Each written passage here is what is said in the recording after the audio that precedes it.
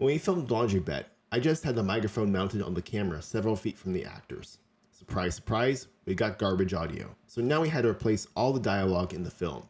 Then I saw the little ADR button in Resolve and thought, this would be a great time to learn this tool, aka Automated Dialogue Replacement, aka dubbing over lines in your film to modify lines or fix bad audio, aka the last thing you ever want to have to do. I spent a week of my life beating my head against the wall trying to figure out Resolve's ADR tools. Here's what the ADR tools do for us. While watching the scene, the actor hears and sees a countdown, then Resolve records the actor saying the line. You have laundry to put up. We start on the Fairlight page. Right click the track headers and click Add Tracks. We will add two mono tracks. Name the first track ADR1 and the second Beeps. I like to color my tracks and lock the Beeps track height to micro. The Beeps track will let the actor hear the countdown. To connect the countdown to the Beeps track, find the Beeps track in the mixer, click where it says No Input, and click Input. Under Source, find System Generator and click Beeps. Make sure the Beeps track is selected and click Patch. To let the actor hear the beeps, go back to the mixer, click the input dropdown again, and click Path Settings. Under Record Level, click Through. Open the ADR panel and go to Setup. Set pre-roll to 4 seconds, set record track to ADR1, and set record source to your microphone input. Under Character Setup, list your characters. We'll use them later.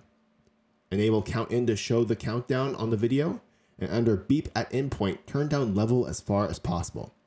This disables the final high-pitched beep at the end of the countdown, which I find annoying. You have laundry to put up. Now go to list, which is where we'll list the lines we want to dub.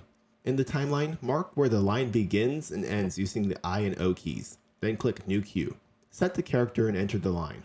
To add the next cue, again find the line in the timeline, mark the in and out point, then click New Cue and add the character and line. Do this for each line you want to dub. And that's it, we're all set up. Go to record, and here we can see our cues and our recordings. The rehearse button plays the countdown in line without recording. Laundry to put up. The record button plays the countdown and records the line. You have laundry to put up.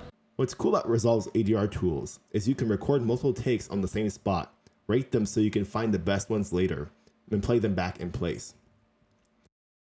In the end, we only partially used the ADR tools. So while the actors watched and listened to the countdown and cut from Resolve, the microphone was connected to an external recorder. After recording, I took the audio and edited it in manually.